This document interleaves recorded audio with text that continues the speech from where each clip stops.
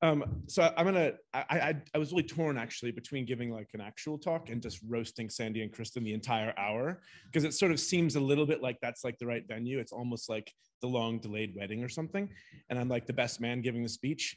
But I decided not to do that. um, but I, I, have a couple things. I am going to spend a few minutes at the beginning talking about scientific philosophy, but but I think it, it bears me reading a short paragraph.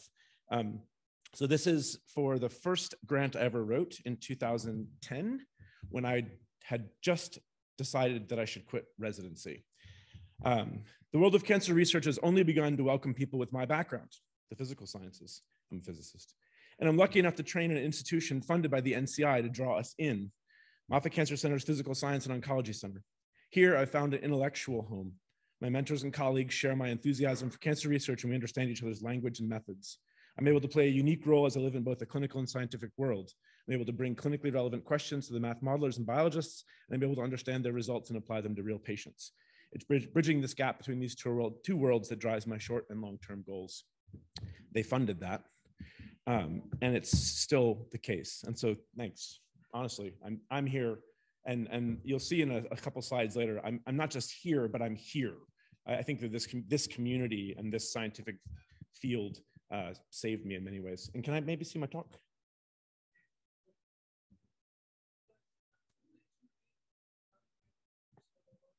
Oh dear. I could just give you my computer. I can just, I'll just do some extemp, I'll just do some improv until then. Yeah, just roast them, exactly. Um, so yeah, I guess, what should I say? I mean, I think that, um, I don't know, I'm just gonna wait awkwardly. I could just bring it up on my, hmm it is a real honor and i think that uh, you know many of this crowd has been together for a long time and i think it's really fun that, like dan said the evolution of this field is is really quite striking compared to the first psoc meeting in 2010 in dc um, where chris mcfarland and i met. Where's chris? Uh, we were met both of us as first year phd students in the back corner of a poster session. No one wanted to talk to either of us so we just presented our posters to each other and now here we are um, still going at it. So I think what we're going to talk about today is, is I think I said, it's a talk broken into three parts. Um, the first third or so will be scientific philosophy and my, my overall lab's goals and dreams and desires. And then the middle part is going to be a, a, sort of deep dive into an assay that we created, a tool, a measure, a measurement tool to, to specifically parameterize a certain kind of mathematical model that we'll talk about. And then in the end, I'll sort of use that tool in anger, if you will. Um, you can please, anything you want to share that I'm talking about, you can. Everything's either published or pre-printed. And I also want to come out, uh, you can scan that QR code and it goes to our lab website. And then further, I want to just sort of open with a diversity and inclusion statement, which is really near and dear to my heart. Um, I think that without uh, embracing everyone of all types, colors, creeds, uh, ideas, we're weaker if we don't do that. And I think in our lab, especially, we we strive to be inclusive and safe. And I think that uh, I'd like to do that here today as well, and welcome anyone uh, to join us. I think it's not just something you say for grants; it's uh, the way we should all live. And then I'm going to try to figure out how to.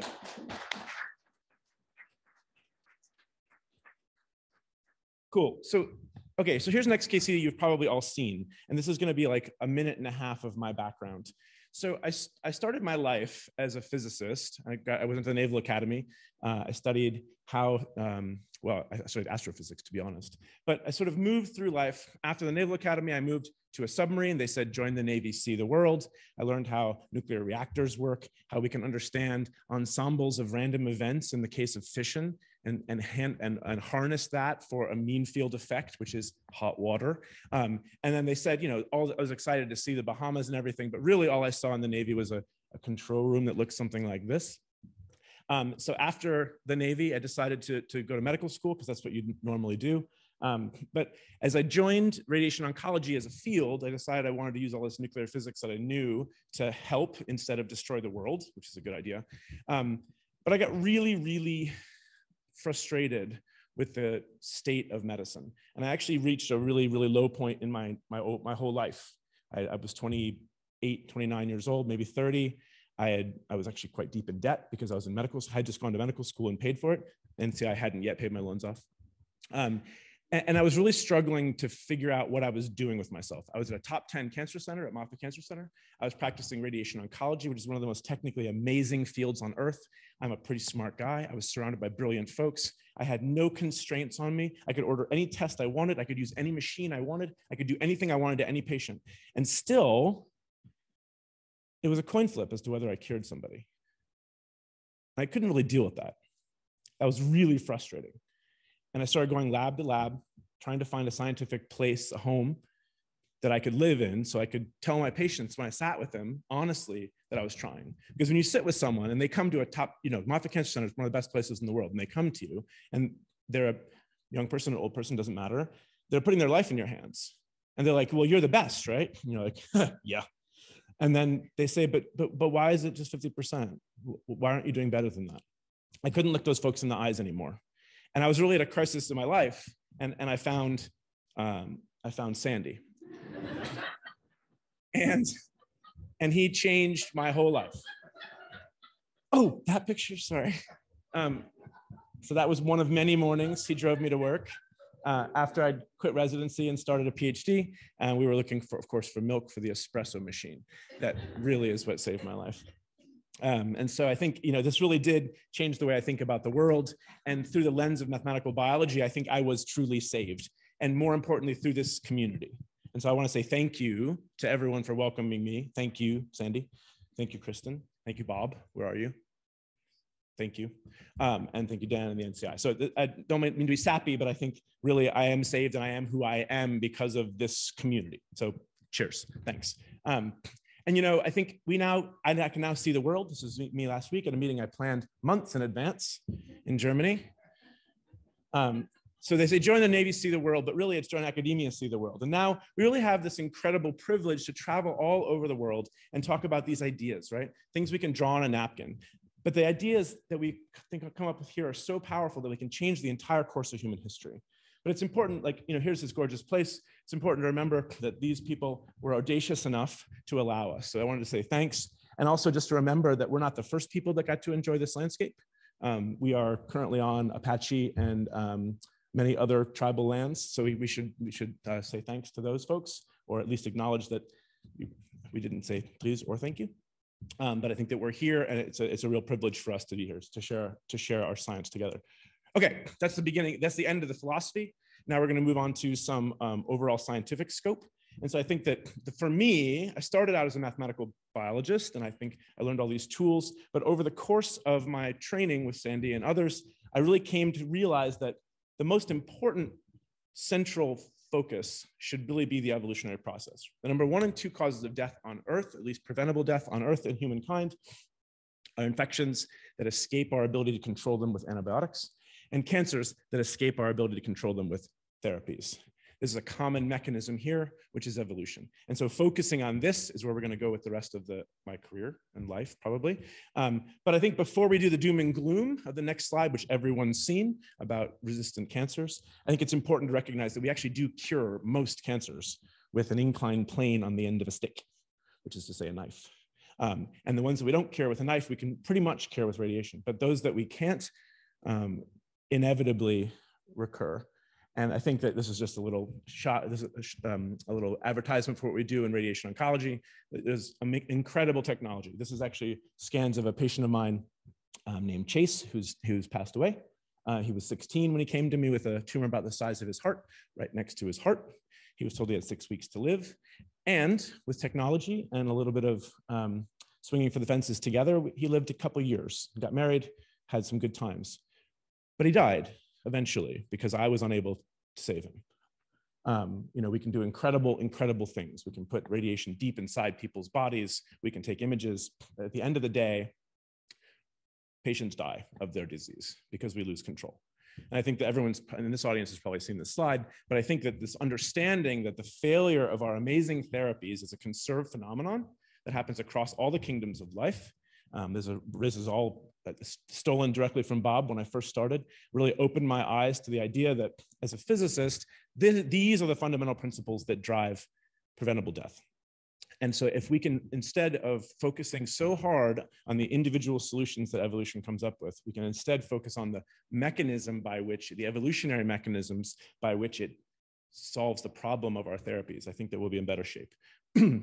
So I think everyone's probably seen this idea, and we're going to focus on this concept of adaptive therapy that I really think we owe Bob Gatenby an enormous debt of gratitude for bringing to the fore um, and also for paying for my PhD. So cheers. Um, so I think for the rest of the talk, we're sort of going to think about this concept of the difference between maximum tolerated dose and adaptive therapy that I think is probably um, most people are comfortable with. Okay, um, this is our laboratory. It's just a little advertisement. If, we, if you want to come work with us, we'd love to have you. Um, as, a, as a physicist and an engineer or whatever the heck I am, we're really not focused on any one tool. We're focused instead on the questions. And I think that's the important thing for us as scientists. And I think coming out of mathematical biology and becoming oncologists, as we are as a community, we need to focus on the important questions and use whatever tool comes to bear. So in our laboratory, you know, most people think I'm a doctor who does math, I must do um, informatics? Well, we do if it's the right tool to use. Um, but at the same time, if you want to study evolution, sometimes you might just do it in bacteria. So I think that we're going to focus on the questions today, not the tools. So you'll see a bunch of different tools used. Um, and I think it'd be fun for everyone to think about. Um, and, and I want to sort of frame the entire question or the entire talk in terms of the evolutionary timescales over which diseases, specifically cancer today, progresses. So as a physician and a scientist, I have every day a ton of cognitive dissonance because when I walk into a patient room, they really don't care about mathematical biology or cancer evolution or any of this. They just want to know how they can be helped today. As a scientist, it's quite boring to think about evidence-based medicine, right? So I get a patient who comes in with stage three sarcoma. I look it up in a book what to do. That's not very satisfying, having worked 47 years of my life to be an expert. So as a scientist, I really want to think about these processes by which the cancer arises and so on and so forth. But they don't care. You know what also patients don't want to hear is they, they don't want to hear, I don't know, right? So if you say like, well, why is my cancer failing this therapy? The real answer is, I don't know. They don't want to hear that because they want confidence they want to understand they want to they're putting their life in your hand. And so this dissonance really fuels everything i do but it also makes me a little crazy. Um, and i want to sort of focus on the way we normally think about or i should say not we but the, the sort of field in general normally focus on this one moment in time right? There's this beautiful evolutionary process playing out from the beginning of a single clone the process of heterogeneity and speciation which we'll talk about and, and, and uh, that you get a tumor ecosystem at the end, and we're going to go into that. But really, cancer therapy, oncology today, we have one moment in time. That moment, we stick a needle into the patient, and we pull it out, and we look at it. And we boil this entire little microcosm, this entire evolutionary world down to one moment. And what do we look for? Well, we look for the things we know how to look for, right? We look for the mutations that we're expecting. We look for the things that we can target. But at the end of the day, there's this entire beautiful process that's led up to this that we're generally ignoring in the clinic. And so I, I would argue that in, instead, we should be thinking about this entire evolutionary continuum, again, starting with a single clone. And in our laboratory, we think about all these things at different scales. And I'll go through each one, each one of them just briefly to give you a flavor. And then we'll sort of focus in on where we're going to talk today, which is this idea of the interspecies competition in the middle. So we're going to think about cancer and infections, the, the two biggest causes of death, uh, preventable death on Earth, as complex adaptive systems. Thanks for those words, Bob. And that change and adapt and evolve over multiple timescales. And each of those timescales requires its own strategy, just to, not just to think about, but also to treat. And I think we're moving into a world where we can start to intervene in each of those timescales in a different way. So, okay, something I'm not going to talk about much today, but I want to give you an idea. So there's Rowan. What are you talking about while you're here, Rowan? This stuff? Cool. Rowan will talk about this stuff. Um, so thinking about what I call the, the longest time scale, the evolutionary time scale. I'll term it for this talk. This idea of speciation events. How do new mutations arise? How do they fix? What, how, is there, how does that process work? So we think about things like fitness landscapes, and you'll hear more about that. We have a couple of PhD students working on this as well, thinking about how these things progress through time. Um, in this intermediate time scale, which I'm going to call the ecological time scale for the purposes of this talk, we think about how the existing heterogeneity works together or against itself. How that energy, how is that interplay affecting response to therapy, tumor growth, overall dynamics? It is, it is absolutely such a thing that these things compete and interact. And then of course, there's the, what I call the shortest or clinical timescale we work on as well. Um, Christy, you talking about this? Is your poster about this? Yes, Christy's poster last night was about this short timescale where we really ask, okay, we have the information now. What can evolution teach us about how to treat, right? So if we take this idea of convergent evolution with this beautiful heterogeneity in the middle with millions upon millions of genotypes in a tumor, what can I boil that down to to do something today? Um, and so we think about that a lot in terms of gene signatures and some other methods using data science and the ideas of convergent evolution to think about what to do. Um, and for both therapy, uh, chemo and radiation therapy.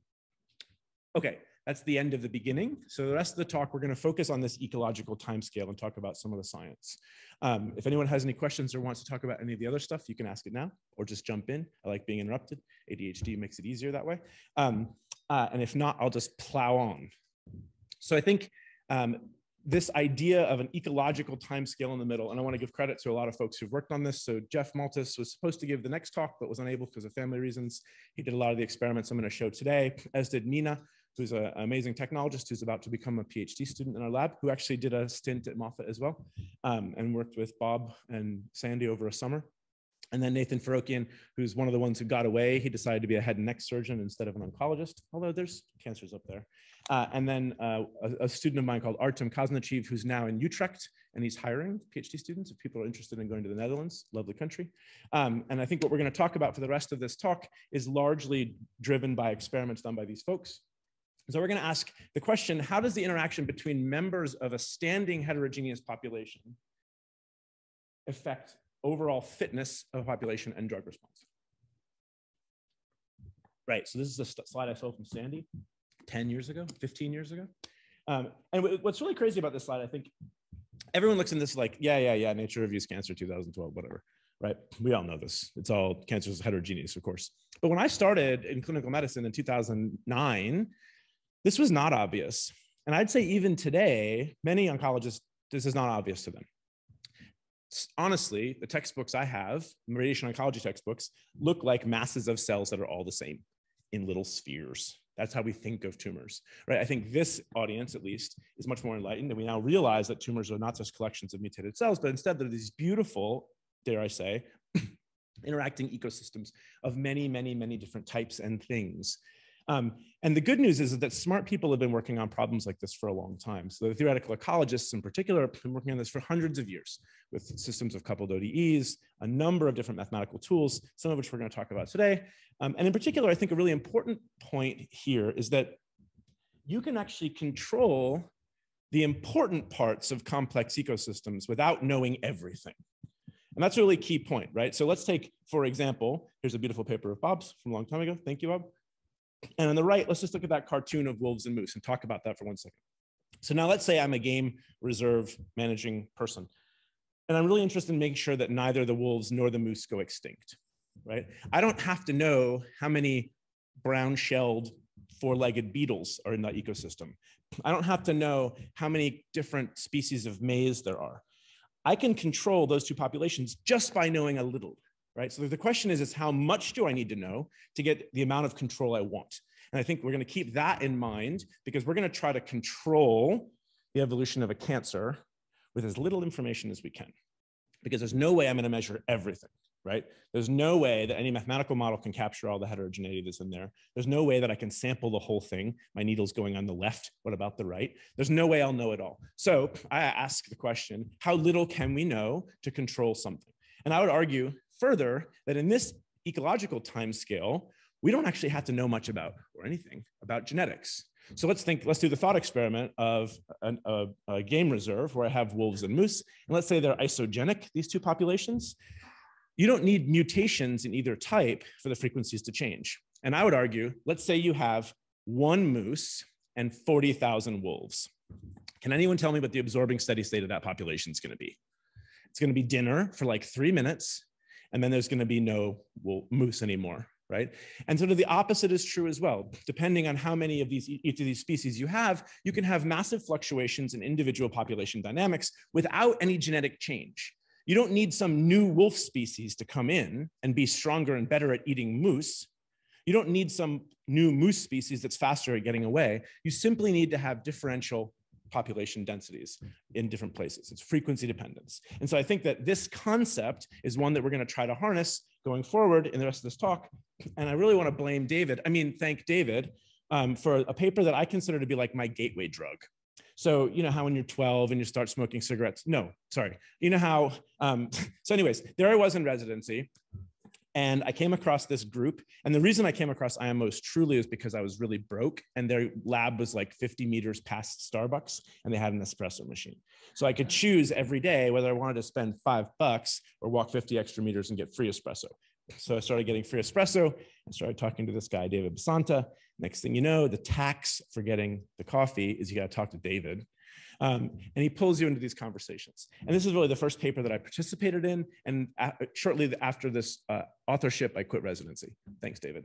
Um, and I don't want anyone to concentrate on the, on the numbers or on the, the equations, but I want you to concentrate on the questions that we could ask, right? Don't worry about the tool. What kind of questions can we ask? And this is really, I think, the first paper where a game theory model, which is what this is. Do I have a um, pointer on this thing?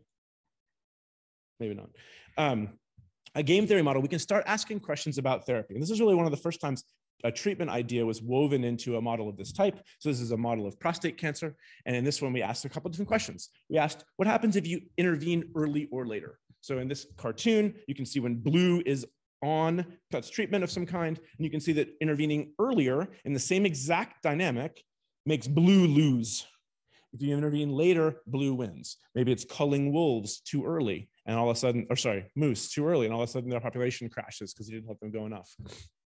We could also ask how long you treat. So the same therapy given at exactly the same time, but for a different duration. That can even qualitatively change these outcomes. Really, so you can ask questions like when should you treat? How long should you treat? But it all boils down to what you put in the model, right? So this is any mathematician in the crowd realizes that those uh, Greek letters are just hiding constants. Well, I didn't tell you that. Now I did. Those Greek letters are just hiding constants. And whatever number you put in there will give you deterministically the outcomes. So it's really not a surprise. But at the same time, this concept that you could use a model like this to study these questions was powerful.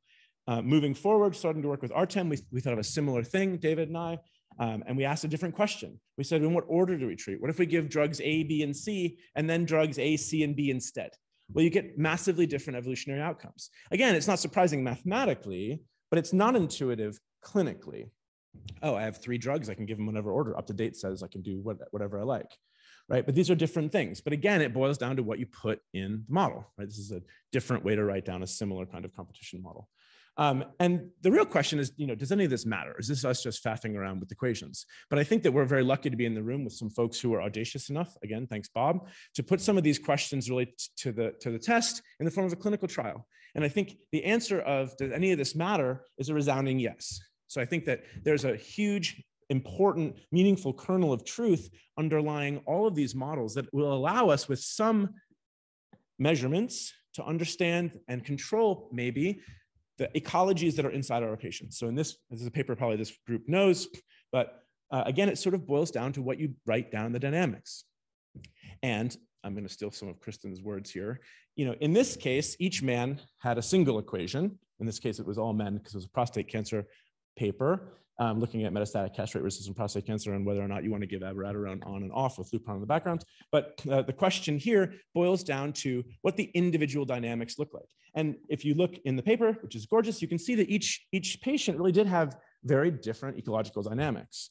Luckily, the heuristic of the model captured enough of the truth for it to matter for their clinical outcome. So I think this is all very exciting. Um, and what we really did after this paper was paused. And so this is uh, a picture of Andre just there and David, and then a student called Jeff Peacock, who's attending RADONC now in Alabama, and then Artem again. And after this paper, I think we really sat down and we're really motivated to ask the question, how can we measure the heart of that model? Right? We've done all this beautiful theory. We've thought really hard about if we know what's in the model, we can do all this cool stuff, ask these questions design clinical trials, but how do we know what's sitting in there? So can we design an assay directly measure that game being played? So we sat down and, and we did the sort of simplest thing you can. We asked about two species, wolves and moose. We designed an assay in a specific kind of non-small cell lung cancer, uh, which has a specific genetic aberration called ALK, an ALK uh, transmit, uh, fusion. Uh, it doesn't really matter, honestly. The idea here is that we have sensitive and resistant, and we have sensitive sensitivity to a specific drug. In this case of this, like I'm saying, it's a specific kind of lung cancer. What we did was we evolved resistance in one strain, which we bought off the shelf, to a specific drug called alectinib, and then we had a sensitive and resistant strain. So we had a, a, tumor that was a mixture. We can mix it however we like. And we started asking the question, how do these things interact and can we measure it? So let's go back to what this sort of model looks like at its heart. So in the simplest way of looking at a two strategy game, or sorry, two player game, Arne Traulsen just ripped me for the saying strategy, it's player. Um, the simplest case of a two player game, we have type P parental and type R resistant. And the question is how they interact. So each of the entries in that matrix, the A, B, C, and D, give us some sense of the interaction. So A and D are what we call type fitness. So A is how parental acts when it's just by itself, and D is how resistant acts when it's by itself. And then B and C are this interaction terms of how they work together. There's lots of different ways you can write down these formulations, but we're going to think about this simple idea of a replicator equation. And what we're going to try to do is design an assay so that we can pull out those A's, B's, C's, and D's. Because remember, in all those fun modeling papers I showed you, that was the heart of the model that we needed. So to do this, we took these cells that we designed, we engineered, actually we didn't engineer them, we evolved them, and we started doing the, the simple thing, right? So let's measure their growth rates. So this is, we're gonna have two different conditions. It's almost gonna be like summer and winter. We have two species, red and green, parental and resistant, and we're gonna have two seasons, with and without fibroblasts. So in this case, we have DMSO, which is no drugs, that's just a vehicle control. Growth rate's the same. Uh, and it's interesting, and we'll come back to that because there's no cost of resistance here. Um, and then when there's fibroblasts around, no change. But when you add drug, of course, you get a crash in the sensitive population. Makes sense. We give a drug that's targeted to them. And then when you add fibroblasts back into the mix, you can see the parental growth rate goes back above, above zero. This is a known um, behavior where fibroblasts can rescue different um, therapeutic things. So I think it's probably the first time it's shown in this cell line, but it's not a new response. So again, this is interesting, and we'll come back to this no cost of resistance in a little bit. Um, so the first thing you might do is just grow them together and see how they interact. Well, you can see that when you add drug, all of a sudden the sensitive ones die out, the resistant ones grow, but that's not good enough because we need numbers. So let's design a quick algorithm to count them. And what we'll do is we'll now plot the number of each of these things over a long period of time. So obviously, if you add drug, the sensitive ones die. So their number, the red ones' numbers go down, and the green ones' numbers go up because they don't care. But what we need is a function, right? So actually, it fits quite beautifully to a simple exponential. And what we have here is a positive growth rate for the resistant and a negative growth rate for the sensitive. Makes sense. But now we can write down exactly what these growth rates are. So we put this into a larger axis. You can see the um, the, or, the origin there, there's a major axis and minor axis, and you can see that we're in the upper left-hand corner with this result. So the parental is dying, negative, and the sensitive is growing, positive. If you change conditions, so now this is with no drug, everyone's growing, right? This is a, the monoculture results I showed you, they're quite obvious. But what's beautiful is if you start mixing them in different frequencies, you get massive changes in their quantitative and qualitative growth behaviors. So not only with drug do we have sensitive dying and resistant growing, but across the spectrum of different frequencies. So now all of a sudden, each of these squares or circles, the opacity is the initial density I seeded them at. So very, very light is one wolf and a thousand moose. Very, very dark is one moose and a thousand wolves what you can see is while their qualitative mean field behavior behaves as you'd expect, which is to say drug, parental dying, sensitive living. Sorry, strike that, reverse it. Go ahead, Jonah. So you said you, right? Yeah, interrupt. You didn't interrupt, you raised your hand though.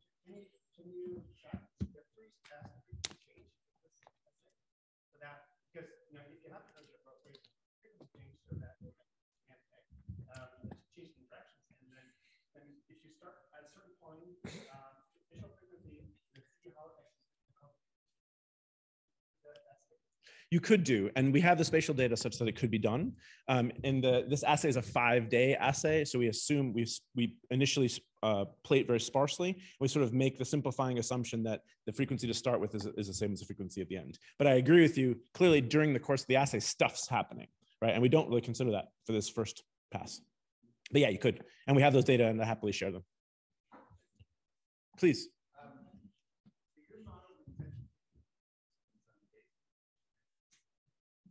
Um, I would say no. I'd say modeling on the basis of phenotype. So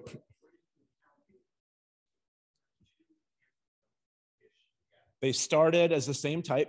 So they started, I bought, I bought one cell line from the store and then I took two aliquots, and one of them I let sit and drug for four months. Yes, yes.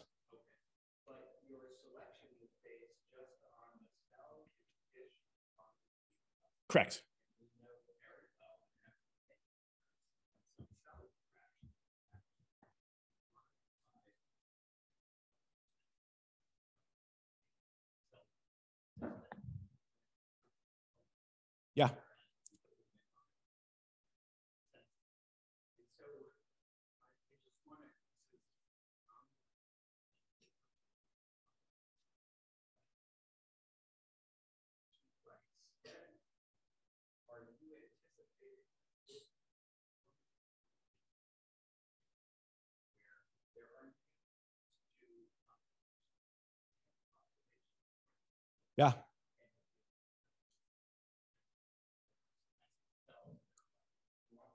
There's a whole beautiful ecosystem, right?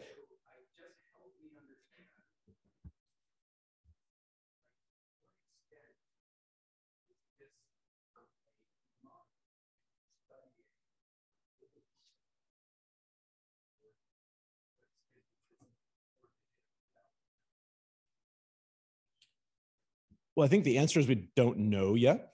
I think very clearly it is a model system, right? And I think based on the sort of hopes I have of fishery management and game reserves, there is an idea that you can control the important populations with a minimum of knowledge, ignoring a lot of stuff. It's not perfect, of course. And I think based on you know the clinical trials that we've seen from Moffitt, there's a, there's a, there's a hint of hope there. But obviously we're far away, right? So this is in vitro with two things that are two colors. This is like the most boring thing you could do but even with the most boring thing you could do, there's a hint that there's some veracity to the underlying assumptions of the model. And then the question then is, what, what do you do with that, right? And, and um, I think what we do with that is, is a lot more work. So um, the PSON just uh, funded Andre and I after our ninth submission of the same grant. No, I'm not bitter about that. Um, to move this assay in vivo. And so I'll come to the end. We haven't done it yet, but I, I agree with you that this is like as as stupid a model as it could be. No, no, I am. No, no, no, no. It, as simple, as simple, right? Oh. Oh no, this is.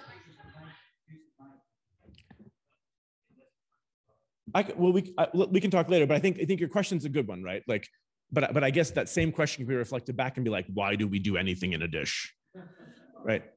So so I guess at, at some point those same those same limitations, right? Well, I mean, but you know, we, we do those we do those things because we can. Yeah the whole point of the paper is to agree with that fundamental observation to say that when you have other cells present with the cancer cells, it's changing the dynamics of the thing. It's a simple model of the broader complex issue that, that you were bringing up. So this is not to say that what happened in this experiment is a full representation of what happens in a human, but a simple model to illustrate a concept which is relevant to the situation in humans. That's what I meant to say. um, but but I agree with you. And I think what, what, I'm what I'm trying to show here is I think the first hint that we can measure this and, and quantify it in a way that works with a model. So that because without a model, you know, what goes up must come down doesn't get us SpaceX, right? We need quantitative models to help us do important things like prediction and control. And before this, I think um, we didn't have that. So what we can show now is sort of if you blow up those data, each of those squares with different opacity is actually a, a pair of points. And what we can do is actually pick off the intercepts and pull out the heart of that model. And I think that's really the key part of this paper is that we're able to really now directly measure in a very simple system the specific cell-cell interaction and the quantitative effects on that on overall heterogeneous population growth. Um, and so like an overall phenotype, if you will. And what's interesting, if you look at the different four experimental conditions, which are with and without fibroblasts, summer, winter, if you will, and with and without drug, um, you sort of have this natural behavior where fibroblasts, the change of season, if you will, shifts the game quantitative, qualitatively in the same way, and drugs shift it in a different way. So what I'd like to leave the audience with after this part of the talk is the idea that, you know, can we think of drugs as instead of things that kill stuff, can we think of drugs as environmental modulators that really change the interactions that are occurring in front of us. Of course, they do kill stuff too, but what if we change the uh, reframe our thinking to go in this way? So can we think of drugs in this new way to steer evolution? That's the question that's open. Um, So, okay, that was a super simple system in one cancer cell line with one muta mutation, with one drug. Does that mean, did we just get lucky? Well, I think we did get lucky. We found a cool game. If we had not found one, we might have given up, but we found something interesting. So the next question I asked is, is this generalizable in any way? So of course we took a huge risk. And what we did was we moved on to an exact same thing except for a different mutation. So we used non-small cell lung cancer and we evolved EGFR positive cells to gefitinib. So this question is, is it generalizable in any way, shape or form? So we, we take one step further. And so we did a, a couple of things in the pipeline, but we really improved the same paper, or sorry, we improved this method uh, by counting nuclei instead of um, cell area and a few other things. Uh, and this is a, little shout out for preprints. This sat on the um, bioRxiv for a year and a half before it was subsequently published in a nice journal. So you know, you're not going to get scooped. It's very well, it's an, a great place to get your science out quickly. Um, and what I'm going to show you is uh, just a couple quick results using this assay. Now that we have this tool, what kind of questions can we ask? Because again, it's questions, not tools, right? Here's a new tool, here's a hammer, go hit stuff with it. So let's hit some stuff. Um, so this is just an assay, a refresher about how this works. We plot, plot cells in different densities, we measure their growth rates, we fit a model equation, we can ask questions about this. So it's pretty neat. Before I showed you drug and no drug. What about different amounts of drug? Clearly, if I give more or less drug, things should be different, right? And indeed, we do see a wide variation in ecological dynamics based solely on the, the amount of the drug given. So it's not just you give a high dose or a low dose, it's that you can give all different ranges of them. Um, what's really interesting here, if you think about it, is the first, and this is also a series of different drugs. You can look and you can see lapatinib, as you give the drug, it actually rotates through three different quadrants. And each of these quadrants is a different fundamental evolutionary dynamic going from all extinction in one direction to extinction in the other direction coexistence. So we really have the panoply of evolutionary outcomes right here in front of us. And now for the pharmacokineticist in the audience, what happens when you take a pill?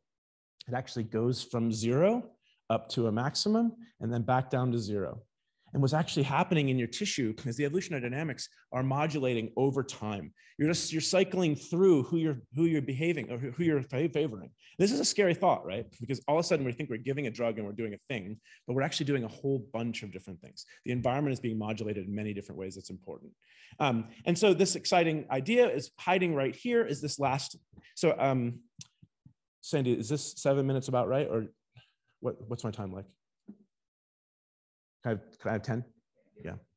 Okay, so this is the, the last uh, exciting thing I'll show you with this tool. So, so here, this is data I just showed you a second ago, the differential doses of gefitinib. But hiding in plain sight is this really cool evidence for this idea called competitive exclusion. And so this is something that um, Bob and others have been talking about for years. And the idea is that if one type can exclude the other, this is actually like really a sine qua non for this concept of adaptive therapy. So for adaptive therapy to work, you need to have a sensitive population that outcompetes the other type, right? You need to be able to move from one quadrant on this graph to the other. Because when you give the drug and you're in the lower right quadrant, all the sensitive are going to go extinct. And then you have this uh, just so story that we tell where the sensitive go extinct, resistant grow out, patient dies. However, here is evidence suggesting that when you pull the drug off, you can actually resensitize the tumor. This has been a putative idea for many years, but I think this is the evidence that we've been looking for to show that it really, at least in this kind of lung cancer, plays true. And so what, what's exciting about this? So here, here if, you, if you just measure on the left, um, the sort of standard assay you'd do in the dish, you'd take the parental cells, the blue ones, and measure their growth rate. It's really high. You measure the resistant cells, it's really low. Now, in this case, there is a cost to resistance, mind you. Um, what you'd guess, so what would you guess if you co-culture those without any of this knowledge previously? You'd guess the sensitive one would just outgrow everything, right? And so you'd think you'd think that the, the resistant would never be around. So this sets up a huge paradox, right? So all of a sudden, if you have this idea of a cost, costly resistance mutation, which I think a lot of us hold dear, and you have that in a heterogeneous population, if you have a very, very weak, low fitness resistant mutation waiting for drug to come around, but there's no drug, what's going to happen to that mutation? It should just get outcompeted and go away, right? It has a much lower fitness. It should be outcompeted. But we hold this in our minds as like sort of the, one of the prevailing method, mechanisms of resistance. There's obviously also the concept of, of acquired resistance, which Andre and I have worked on and many others have. But I think that there's a tension here, and, and there's tons of evidence to suggest that pre-existing mutations do exist, pre-existing resistant mutations, pre-existing costly resistant mutations. So how can this be? Um, and this isn't just cancer, right? This exists in HIV. So here's data to suggest that more mutations against the drugs of interest confer fitness decreases. Um, this happens, here's data from our lab in bacteria. The more mutations you have in E. coli against the beta lactamase, the weaker it is in uh, without the beta lactamase. Here it is an Enterobacter. This is data from Ishan and, and Jeff in my lab. They're the same thing. If you evolve resistance, the more mutations, the weaker they are, the more fitness, the more deleterious that is in the, in the absence of the drug. So how can that be? So this ubiquitous but not omnipresent thing is, is, is the exciting thing. And the paradox here is how can those pre-exist? And so I'm going to propose an ecological solution, and we're going to test that in, in a different way. So what if we take the same experimental setup we had before? What you notice here is actually, so, so what does that look like? What does the tumor look like in your body? These are 10 million cells. No, sorry, that's way too small. 1 million cells. Um, 10 to the 12th cells. And how many resistant cells do there need to be? Not very many, right? So let's say there's 10 to the third. What does that look like on this graph? So the initial proportion of sensitive is going to be almost one, right? Because you're going to have 10 to the 12th sensitive and 10 to the 10th, say, resistant. So 1% or less. So if you were just to measure their fitnesses straight off the bat, you'd think that the resistant ones are super weak, right? You'd, you'd measure that red dot on the left. That's the fitness of the resistant in monoculture. But all of a sudden, when you culture them together, you have a scenario where the fit, the weak, the weak mutation, mutated um, resistant cells are actually rescued by the sensitive. So you have this amelioration of their fitness de defect by the presence of the sensitive cells. This only happens at tiny proportions. The minute that starts growing out at all, the fitness decrease kicks in. So what we have is this large cost of resistance, but it's ameliorated entirely by the presence of a healthy tumor. So but at diagnosis, you can actually have persistence way longer. So here's the hypothesis we want to set up. So it's uh, this cartoon on the right, this is assuming that there's no games around, any mutation that arises that has a deleterious effect on fitness should come in and out of the population, should pop in, pop out, right? It, it, it arises randomly because mutation is, is random, but that it can't compete and it gets outcompeted. However, if we have this distribution of game effects, we actually should start seeing cells hang out longer based on their ecological effect itself. So what we're going to do is set up a, a, simulation. On the left, you have this idea of an intrinsic fitness. This is sort of the y-axis of where you intercept. And then you have this differential ecological interaction. So if you have a negative eco interaction, you're blue, and you can see those hardly blip, blip in and out of the population at all because they're actually beat down by the sensitive but you also have these possibilities where it's the same intrinsic fitness, the same growth rate, but the ecological effect based on what's around ameliorates the population. So this is the question. So we're going to set up a quick simulation to make this argument and then show some experiments that I think validate it. So here's a, a simulation for 500. This is a Wright-Fisher stochastic simulation. You have 500 generations. And what you don't see in that black is the teeny, teeny, tiny less than 1% of things on the very, very bottom that are actually popping in and out and going extinct. And then at time step 500, we turn on a drug. So all of a sudden that fitness defect is now a massive increase, right? Because you have the resistance mutation. And what you want to do is look and see what are those mutations that are arising. And so this is on the bottom, it's just the frequency of all the mutations that exist, which is again, a teeny tiny population. And what you're seeing, if you're, we're drawing uniformly at random the eco effect, what we're seeing is the ones that persist are the ones with that positive interaction. Um, and if you look at it across many generations, you can start seeing this is now zooming in on the bottom half or 1%. You can see more and more of this benefit comes depending on whether you have games, quote unquote, on or off. And so what we're looking at is this sort of conserved effect where we think that the, the proportion of these cells that are existing beforehand are propped up by ecology. So that's a great theoretical example based on one experiment. What, does this hold true in any other scenario? So some of these are beautiful experiments done by Dagim. Thanks, Dog. Um, let's look at clinically observed resistance mutations. So now these are patients who have stage four non-small cell lung cancer who take a drug called osimertinib, which is first line in the metastatic setting. And these are patients who now that drug has failed and their cancer is returned. What resistance mutations do we see clinically? Well, half of them we don't see anything. This is that gray part there, which we're going to ignore, which is really the elephant in the room. But the other half are these sort of known pathways. So we have a bunch listed here. And if we go and actually engineer in these mutations, so Dagim has pain, painstakingly done this over the course of the last two years, not putting in transfecting in KRAS, transfecting in PI3 kinase, transfecting in BRAF, and then measuring the games between those costly resistant mutants and their sensitive ancestors. And in all cases, we see this qualitative behavior.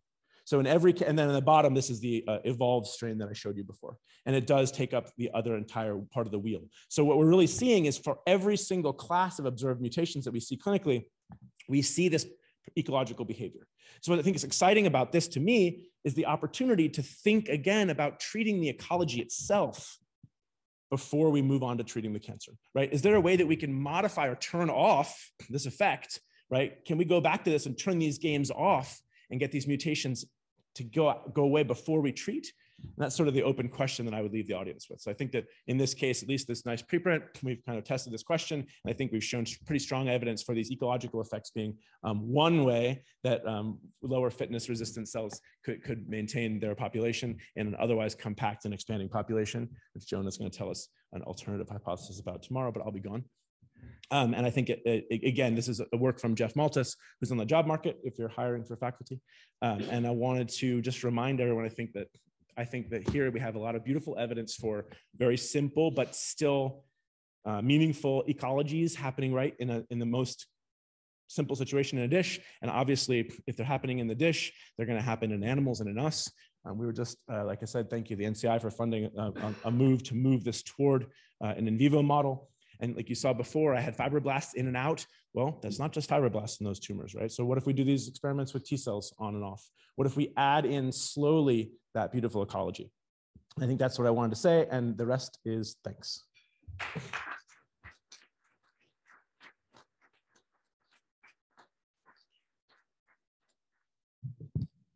That was really great talk. Thanks. Very interesting.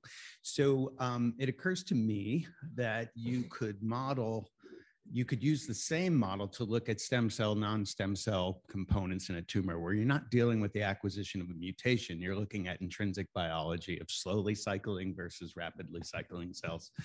Um, and that's present in virtually all, at least solid tumors, probably in liquid tumors as well.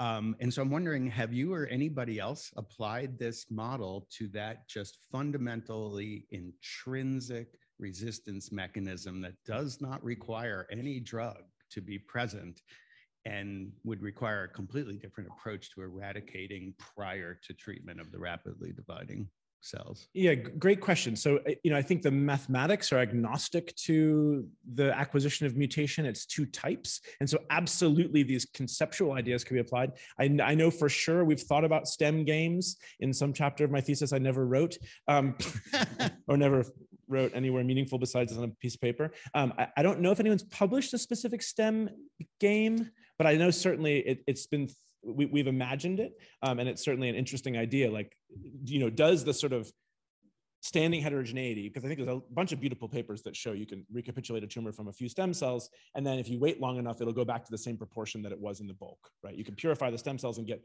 90-10 again right. or whatever it is, right? So yeah, and one of the interesting things about that is rather than having two different populations of cells where you're saying they're interacting in a way that's controlling, um, you have a single lineage. You don't need any additional mutation. The relationship yeah. between the stem cell and the rapidly dividing cells is a completely different kind of relationship compared to competition between populations, right? They're not competing. Can you put that back up, please? To talk? I just wanted to show. I, I completely agree. I was trying to pull up a yeah. slide just to give an idea of, you know, how one might. Wait, can I have the mouse? Okay, cool. Wait, am I doing this?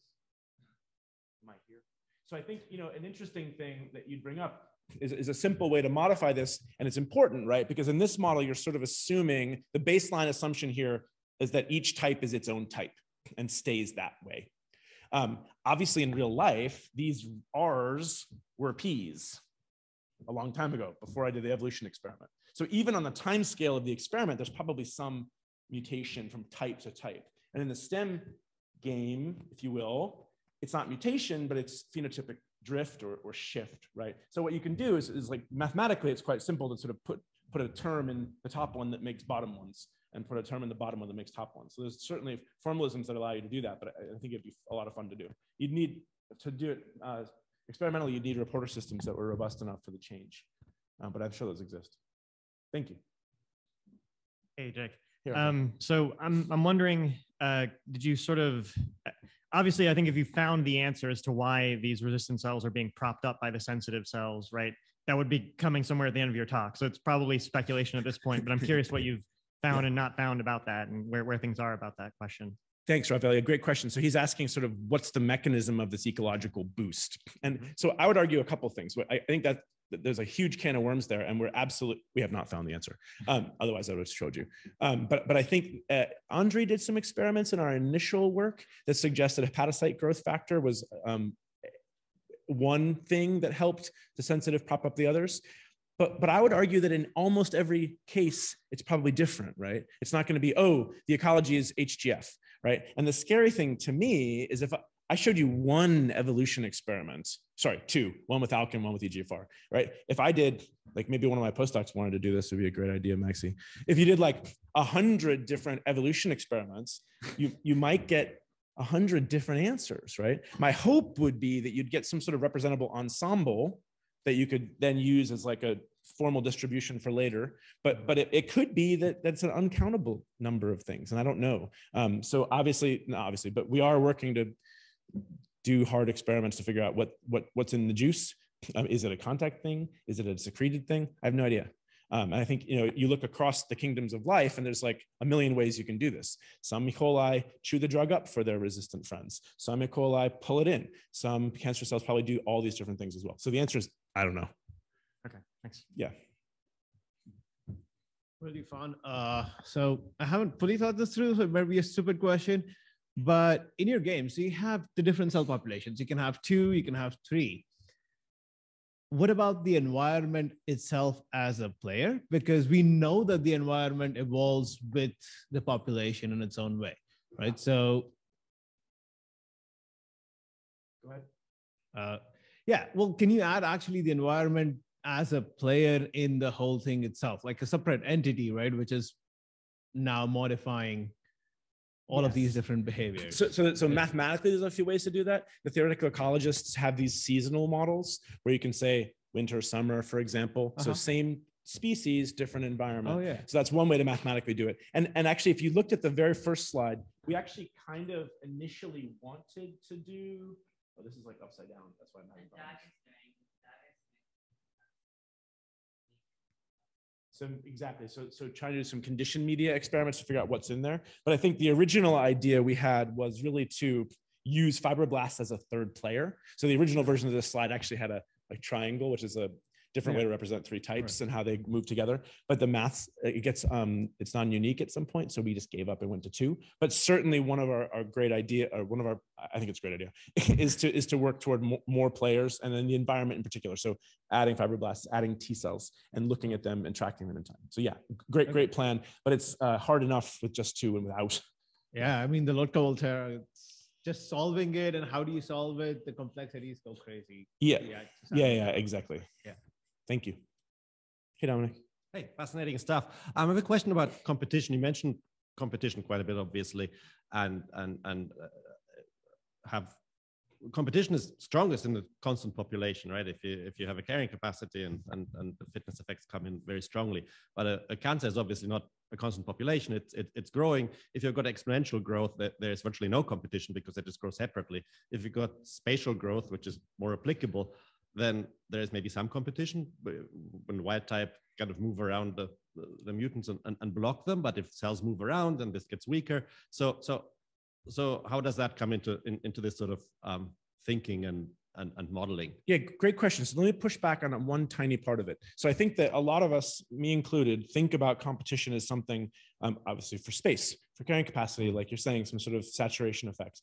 But there's other types of ecological interactions that don't require that, especially if it's a secreted factor and whatnot. So I think that depending on the ecology that's going on, you could, I mean, in these experiments I showed, this is like very sparse. Like these things are not touching to begin with, but there's still some sort of and I, I, think the word competition is what's the, the loaded word. There's still some sort of ecological dynamic, one of which you might describe as competition. But there's other ecological dynamics at play that, that may or may not require different population levels. But absolutely, a simplifying assumption of sort of normalizing growth to one is, is, a, is a bad one, but a required one for, for this tool.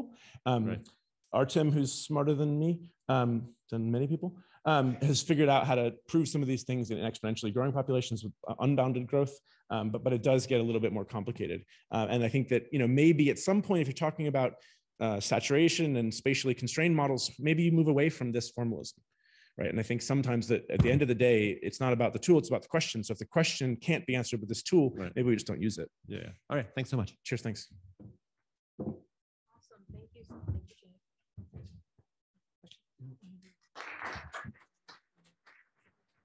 yeah.